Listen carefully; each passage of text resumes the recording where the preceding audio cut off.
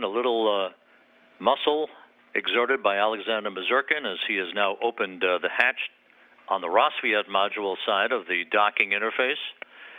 And now uh, it's Anton Shkaplerov's turn to open the hatch to Soyuz, and we'll have uh, the six crew members uh, welcome one another before they move into the Zvezda service module.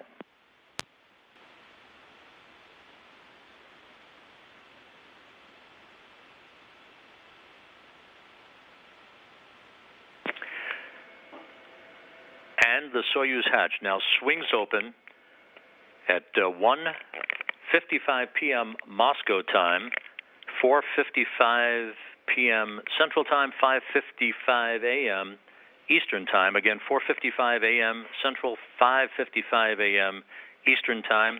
The hatches now open between the two spacecraft as the International Space Station flew 253 miles off the east coast of Australia.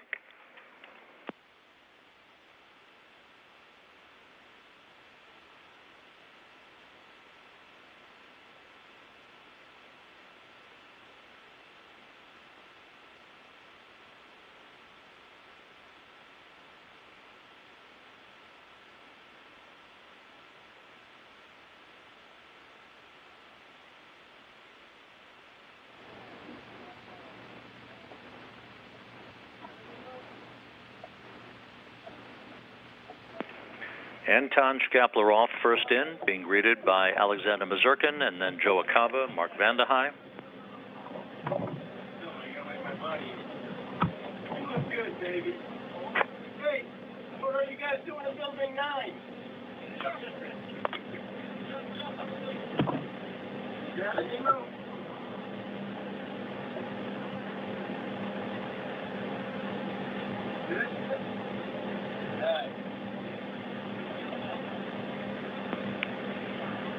And Scott Tingle of NASA makes his way into the International Space Station for the first time.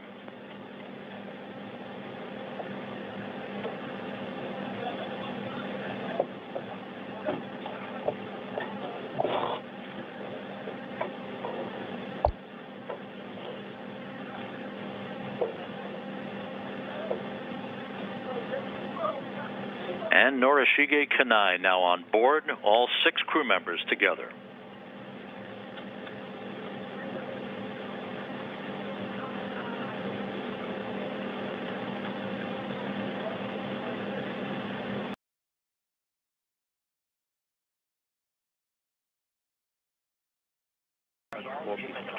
Congratulations on successful uh, ingress onto the station. Thank you very much.